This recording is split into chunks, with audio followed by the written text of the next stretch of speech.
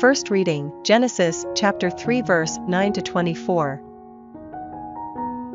But Yahweh God called to the man. Where are you? He asked. I heard the sound of you in the garden, he replied. I was afraid because I was naked, so I hid. Who told you that you were naked? He asked.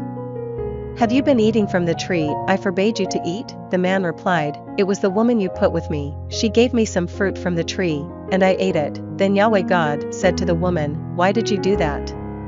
The woman replied, The snake tempted me and I ate. Then Yahweh God said to the snake, Because you have done this, accursed be you of all animals wild and tame. On your belly you will go, and on dust you will feed, as long as you live. I shall put enmity between you and the woman, and between your offspring and hers, it will bruise your head, and you will strike its heel. To the woman he said, I shall give you intense pain in childbearing, you will give birth to your children in pain.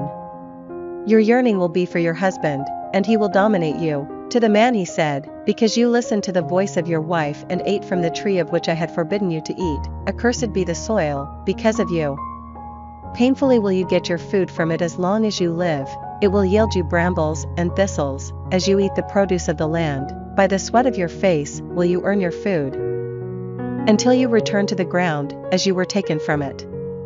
For dust you are, and to dust you shall return. The man named his wife Eve because she was the mother of all those who live. Yahweh God made tunics of skins for the man and his wife and clothed them. Then Yahweh God said, Now that the man has become like one of us in knowing good from evil, he must not be allowed to reach out his hand and pick from the tree of life too, and eat and live forever. So Yahweh God expelled him from the Garden of Eden.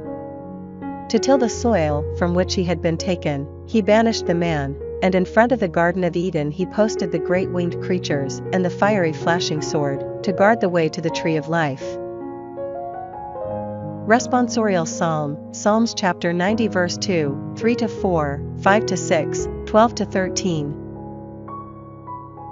Before the mountains were born, before the earth and the world came to birth, from eternity to eternity you are God, you bring human beings to the dust, by saying, Return, children of Adam, a thousand years are to you like a yesterday which has passed, like a watch of the night.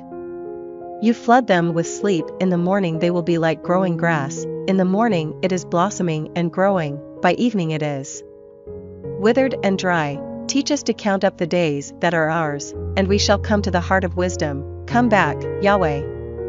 How long must we wait? Take pity on your servants. Gospel, Mark chapter 8 verse 1 to 10.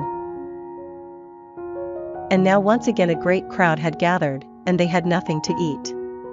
So he called his disciples to him and said to them, I feel sorry for all these people, they have been with me for three days now and have nothing to eat.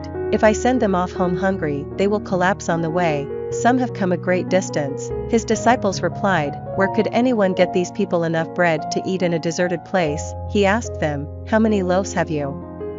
And they said to him, Seven. Then he instructed the crowd to sit down on the ground, and he took the seven loaves, and after giving thanks he broke them and began handing them to his disciples to distribute, and they distributed them among the crowd. They had a few small fishes as well, and over these he said a blessing and ordered them to be distributed too. They ate as much as they wanted, and they collected seven basketfuls of the scraps left over. Now there had been about four thousand people.